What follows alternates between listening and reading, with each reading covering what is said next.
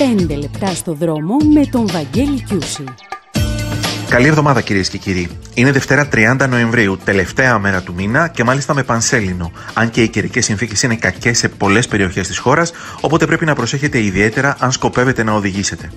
Βρισκόμαστε στην επόμενη μέρα ενός ακόμη Grand Prix της Φόρμουλα 1, το οποίο θα μείνει στην ιστορία όχι διότι ο Λούι Χάμιλτον πέτυχε την 95η νίκη στην καριέρα του, αλλά γιατί αποφύγαμε μια τραγωδία, καθώς ο Ρωμέν Γκροζάν κατάφερε να βγει ζωντανός από το τρομακτικό ατύχημα που είχε, καταλήγοντας με ταχύτητα σχεδόν 200 χιλιόμετρων την ώρα πάνω σε μια μπαριέρα.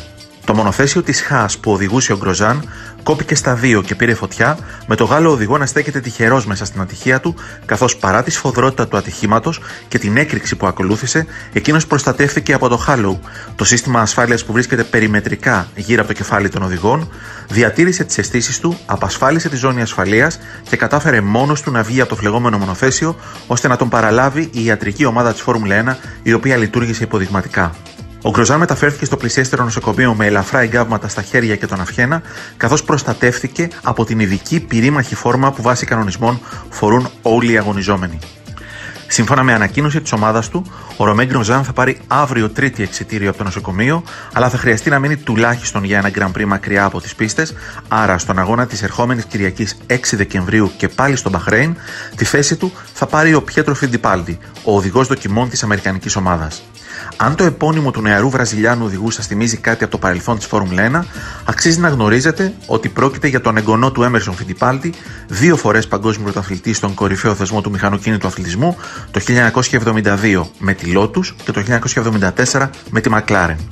Αυτά από τη Φόρμουλα 1. Σας θυμίζω ότι το ερχόμενο Σαββατοκύριακο 5 και 6 Δεκεμβρίου ολοκληρώνεται και το WRC με το Rally Monza όπως ονομάζεται.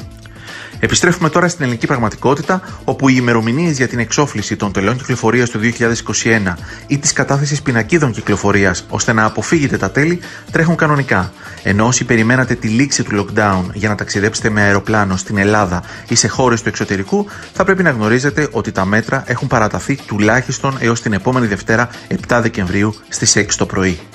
Αυτά για σήμερα στα 5 λεπτά στο δρόμο. Μέχρι αύριο που θα τα ξαναπούμε να είστε όλοι καλά. Να προσέχετε πολύ ό,τι και αν οδηγείτε, όπου και αν οδηγείτε.